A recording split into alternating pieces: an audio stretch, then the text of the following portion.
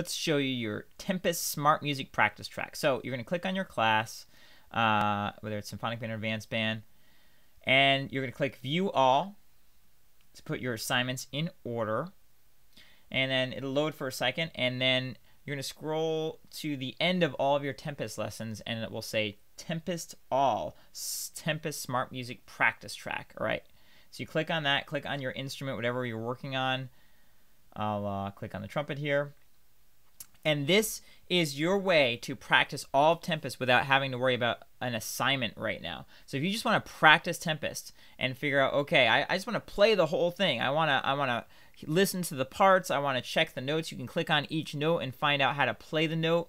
Um, this is your smart music practice track. You can play it anytime, uh, anytime. Just practice it, right? You don't have to submit this. It's for you to just get better at Tempest and practice on smart music. So go for it.